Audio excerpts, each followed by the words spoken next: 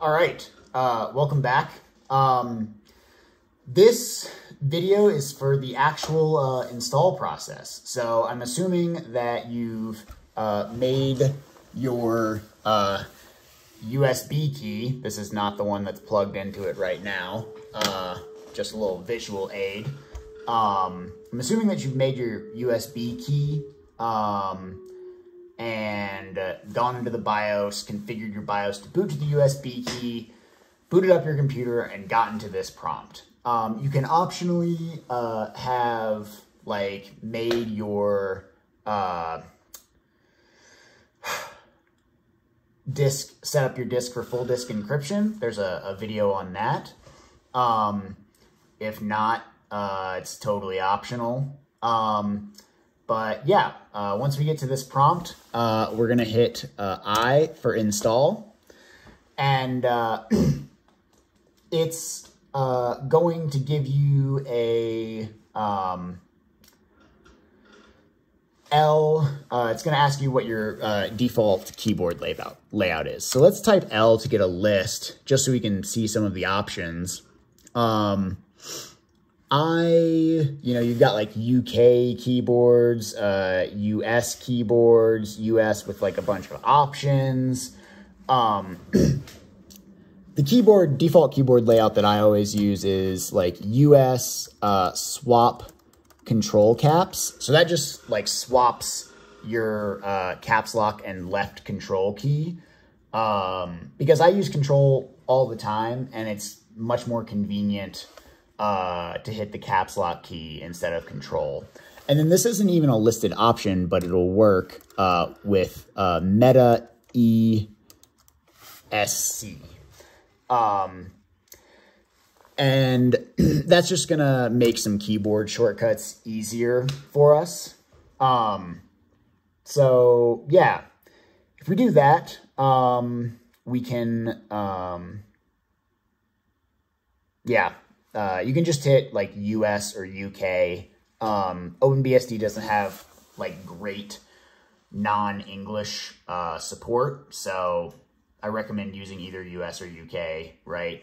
Um, and then, uh, so it's already got noob entered um, as an option because I kind of started this before but messed up. Uh, so uh, messed up trying to show something that I knew wouldn't work. Um, so I'm just going to hit enter for noob. Um, which address do I want to configure? I know that ath0 uh, won't work. That was the thing that I uh, was trying to show uh, how it doesn't work. Um, so I'm going to use the Ethernet connection MSK0.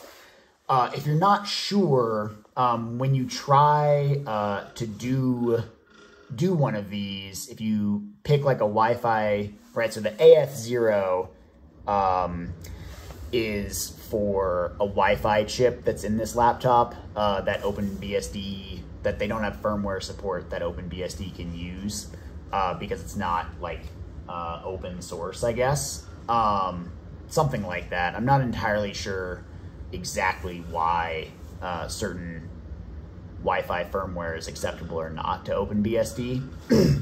um, but I'm just going to use the Ethernet connection, which is MSK0. Um, if you're concerned, um, VLAN is uh, almost never going to be what you want unless you're doing like a uh, like a virtual machine install for OpenBSD.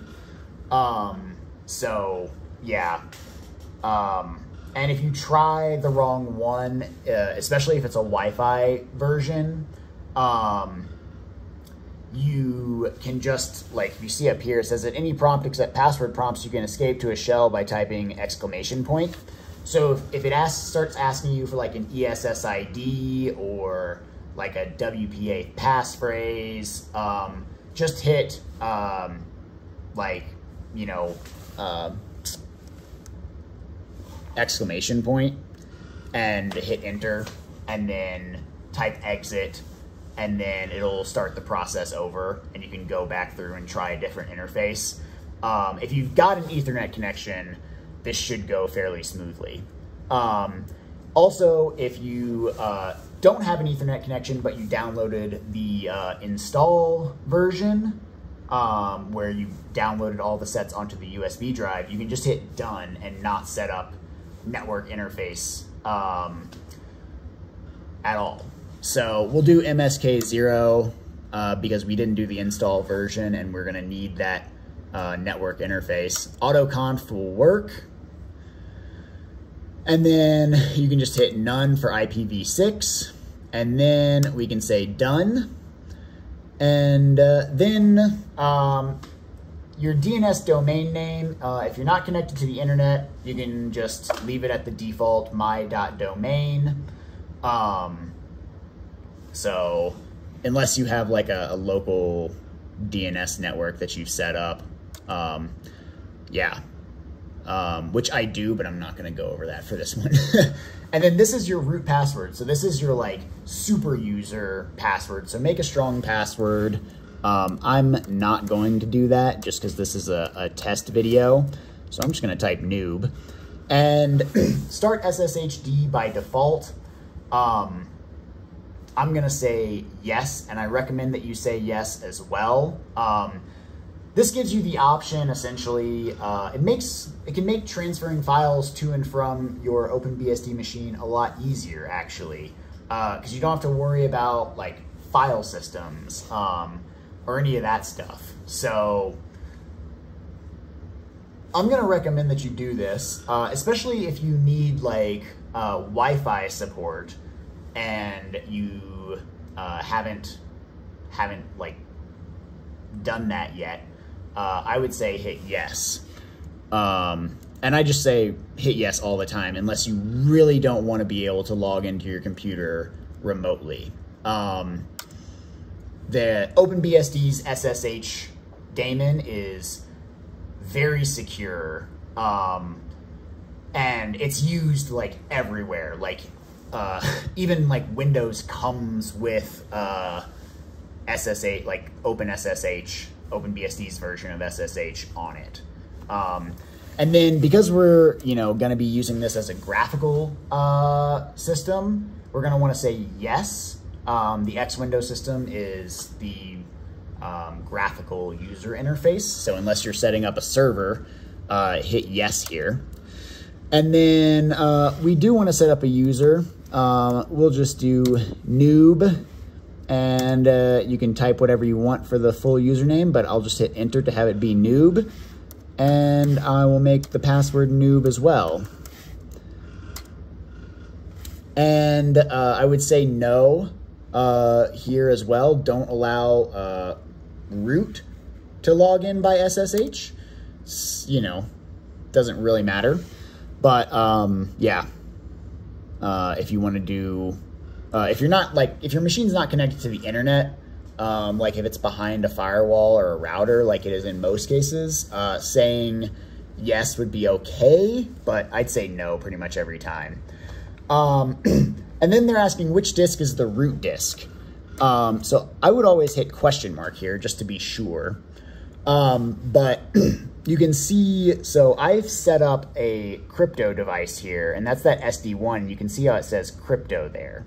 Uh, SD0 is the USB drive that I have plugged in. Um, and then WD0 is the like actual like unencrypted disk. So if you want full disk encryption and you've gone through the video on setting that up, um, you can type, you know, whatever the your crypto device is here. Um, otherwise, uh, type in the one that's not your USB drive. Uh, so if you didn't do the full disk encryption, that would be WD0 in this case. But I'm going to do SD1 uh, because that is uh, the encrypted version. But that's the only difference uh, in the install process after you set up encryption.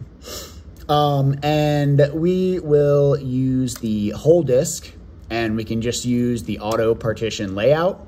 So just hit enter for all of these. And then this is gonna go through setting up your cylinder, you know, setting up the file system and all that fun stuff. And then you can hit done.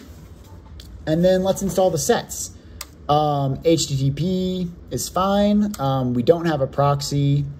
Um, and so you can see it tried to connect to uh, the same place that we um, you know, tried to get a list from ftp.openbsd.org, but it didn't work. Um, so what I'm going to say, you know, if that doesn't work, you can do ftp.usa.openbsd.org. Um, if you're not in the USA, um, then I would try maybe FTP uh, dot openbsd.org. Let's see if that works. Um, and it says they weren't able to connect using HTTPS, use HTTP instead. Um, so let's hit no. Um, I'll have to, you can look up online um, what some of the like options are um, if you're not in the US um, or Canada.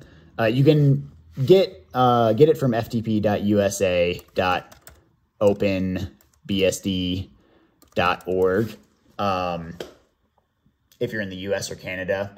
Uh, I think for legal reasons, you're not supposed to uh, get it from here if you're not in the US or Canada. Um, but I mean, nobody's gonna, you know, nobody's really gonna gonna rat you out. Um, certainly not in OpenBSD. Um, so yeah, that's that's fine. Uh, it got all the sets for us, and so we'll just install all of them. You're gonna want to install all of them. Um, for like a graphical user environment setup. So it's to pull all those down. And while it's doing that, um, I will look up um, some of the available mirrors um, that you can use.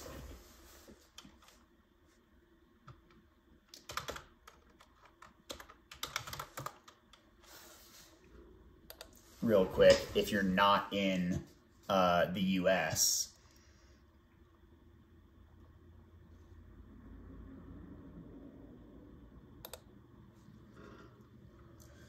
Um, I'm doing, I'm looking this up over Tor, so it's a little bit slow um, on my desktop, which is right next to this laptop. Um, it sure is slow. Um,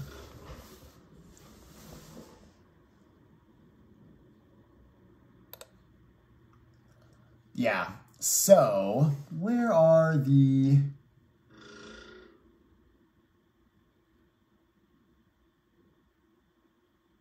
Yeah, so um, if you go to uh, https uh, colon forward slash forward slash www.openbsd.org forward slash ftp.html, uh, that'll give you a list of HTTPS uh, servers that you can pull these sets down from. And there's a bunch of different servers uh, all over the world. There's like Australia, Austria, Brazil, Bulgaria, Canada, China, Costa Rica, Denmark, France, Germany, uh, Greece, you know, all over the world. Just pick one that's close to you uh, and that has HTTPS, and uh, that that should work. Um, you can almost, you can certainly get it from uh, Canada. Uh, it looks like there's an HTTPS server at openbsd.cs.toronto.edu. Um, so, you know, just to give you a specific one that you're not going to have legal issues uh, with, um, getting, you know, the software from, uh, you can use that uh,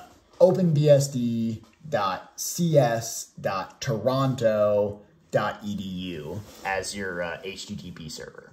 And if you did the install version of the uh, USB flashing, then you won't have to worry about this. Um, also, if you do get the uh, install version, it'll give you a warning like uh, no SHA-256.sig uh, file to verify the sets with.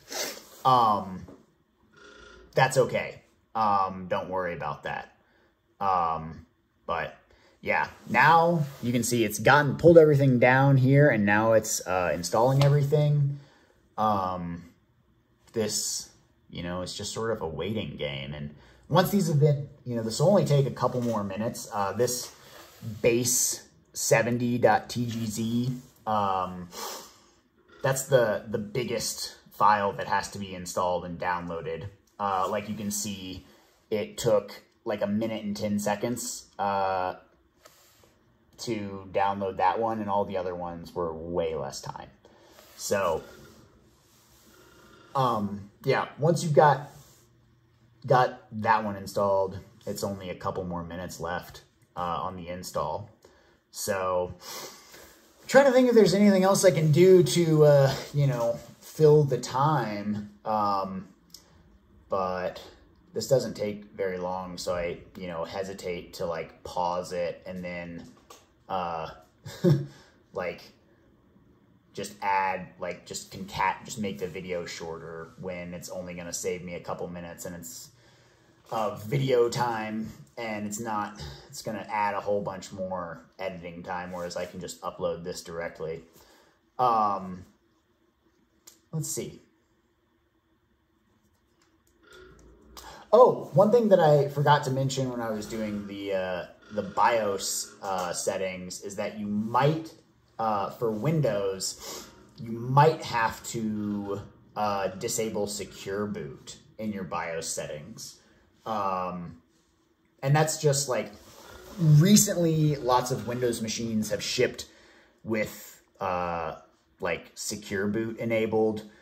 Um, and uh, like I wouldn't wouldn't worry about like it's just a Windows thing that doesn't I don't feel like really adds a lot of security um, unless you're like leaving your laptop in public spaces a lot and you don't have like full disk encryption on it. Um, right? So if you're really concerned about security, do the full disk encryption option uh, and like just disable secure boot in your BIOS um, so, yeah. I don't think this uh, particular laptop ha even has secure boot on it. So that's really, uh, really not a concern. I don't think I could have even shown it to you uh, for this one. But yeah, once you've got secure boot disabled, uh, it shouldn't be a problem uh, booting to your USB drive as long as you've uh, changed the boot order. Um, yeah. And you can see these extracting etc and extracting x etc. Uh, those are just the default configuration files for uh, the regular base system and for the graphical user environment. And uh, just a couple more sets to go.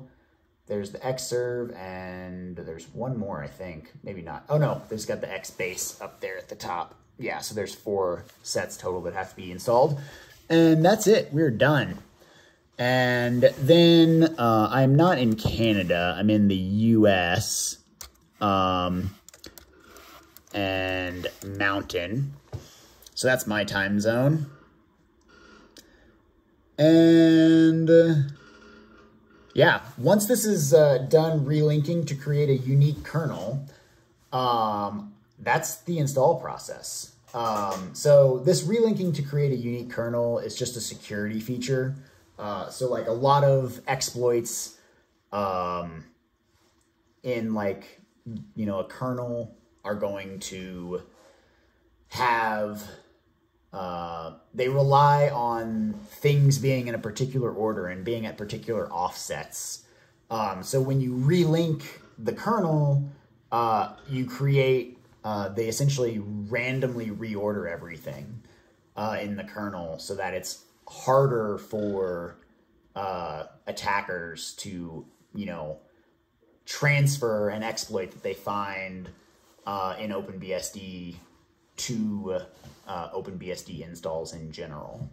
So uh, if you've got a, a, you know a faster machine, this won't take as long. Um, like I said, this is a pretty old uh, old machine, so this takes a little bit longer uh, on a slower processor. Uh, but yeah, I've used like I used this computer as recently uh, as 2019 uh, to do like real work on. Um, this was like the laptop that I actually used with OpenBSD uh, to do real work on. Um, so, you know, it's uh, it's pretty lightweight. That's one of the things that I like about OpenBSD is that you can you can use it uh, pretty well on everything. So yeah, uh, now we've installed, and uh, if we hit uh, reboot, it'll boot into the, the new OS. And just make sure that you uh, remove your USB drive before it does that. Otherwise, it'll just boot back into the installer. So it's rebooting. I'll remove the USB drive after, as soon as it says rebooting. And uh, yeah, so because I set up uh, encryption, it won't boot uh, until I enter the passphrase for the disk. So I'll enter the wrong passphrase and you'll see that it gives me an issue. And then if I enter the right passphrase, it brings up the boot prompt. If you don't want to wait the five seconds before it boots the default uh, kernel, you can just hit enter. And yeah, now we're booting into the actual uh, OS, which will become apparent here in just a second. Um,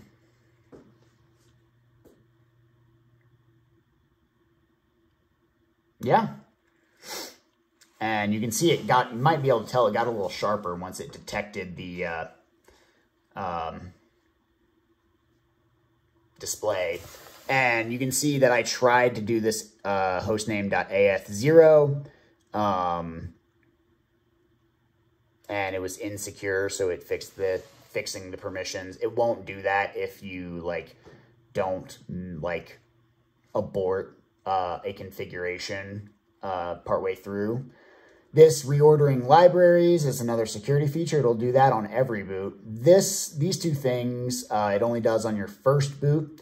It's just generating, uh, you know, uh, security keys for your SSH uh, daemon and uh, that's going to allow you to securely log in. Um, and uh, it's uh, downloading some firmware.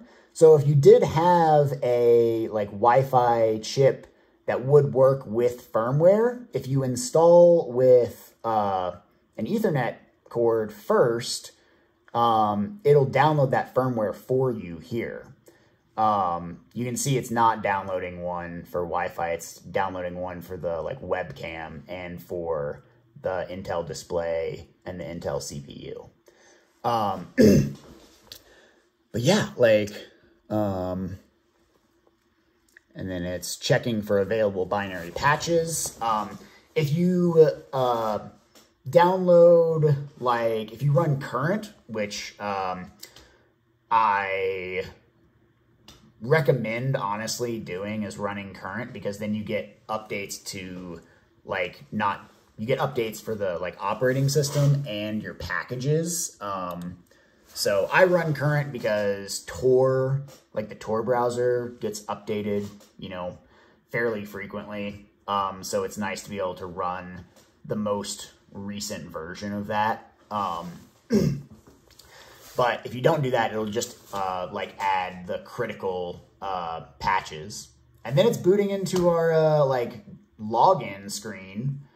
Um, and yeah, this looks super ugly at first. Like, I think it, I mean, it doesn't look maybe quite as ugly as it does on the screen because of the sort of like pixelation of filming another screen but it still looks pretty bad. Um, but anyway, I will uh, go over how to make this like look nice instead of, you know, and make it a little more aesthetically pleasing so that you want to spend time on it um, in, you know, uh, a series of other videos. But yeah, um, that is it for this one. Um, we've installed OpenBSD. Um, and, uh, you know, I think that was relatively painless and easy.